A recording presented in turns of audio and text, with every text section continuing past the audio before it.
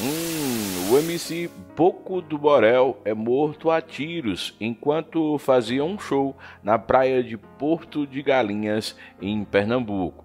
Quer saber tudo, tudo mesmo? Então curte, comenta, compartilha, se inscreve no canal, aperta no sininho, Bloco Social Notícias começando. Oi, gente. O MC Boco do Borel, cantor de brega funk, foi morto a tiros na madrugada desse domingo 26, enquanto fazia um show em Porto de Galinhas e Pojuca, litoral sul de Pernambuco.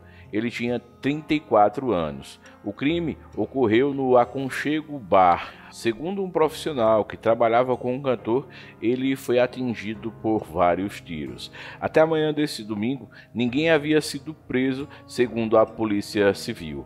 Boco do Borel chegou a ser socorrido, levado para uma UPA em Serrambi, mas não resistiu aos ferimentos. Ele deixa mulher e quatro filhos. No início da carreira, Boco fez dupla com MC Sheldon e os dois foram os pioneiros do brega funk.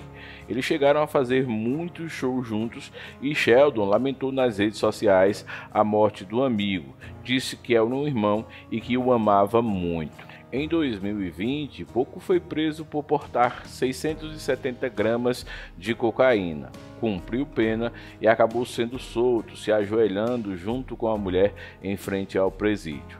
Hoje, todos lamentam sua morte. Curte, comenta, compartilha. Social Notícias.